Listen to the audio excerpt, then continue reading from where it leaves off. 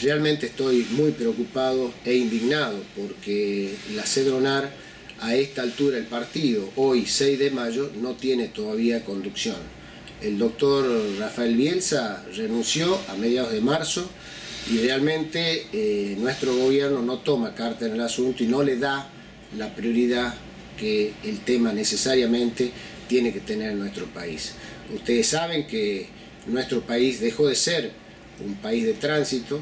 y que el crimen organizado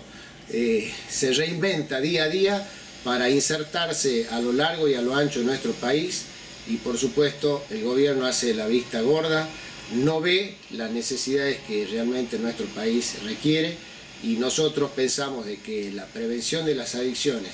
y el control del narcotráfico es una urgencia y una necesidad prioritaria para nuestro país.